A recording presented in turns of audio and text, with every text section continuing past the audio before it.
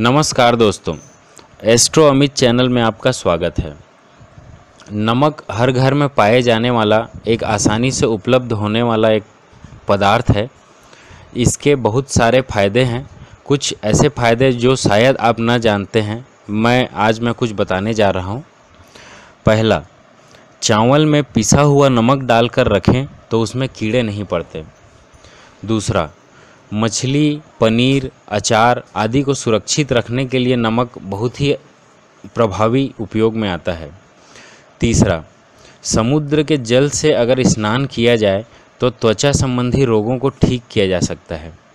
चौथा, अगर आपके कपड़े में स्याही के निशान पड़ गए हों और वो धब्बे निकल ना रहे हों तो नमक के जल में उसे डुबा दीजिए और कुछ देर में ही धब्बे गायब हो जाएँगे।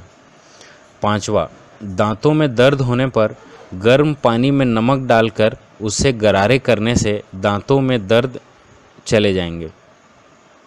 छठवा, नमक के पानी से चेहरा धोने से आपके चेहरे में एक प्राकृतिक चमक आएगी और वो बनी रहेगी।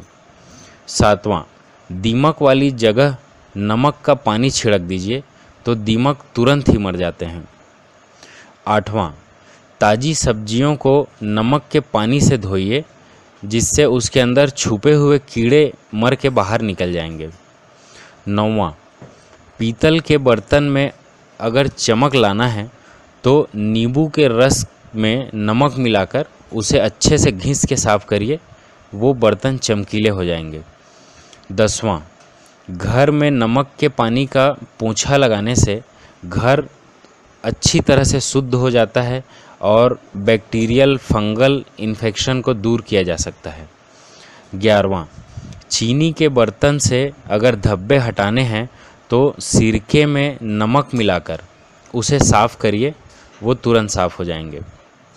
बारवा फूल के गुलदान में नमक पानी रख कर उसमें फूल रखने से फूल कई दिनों तक, बहुत समय तक ताज़ा बने रहते हैं।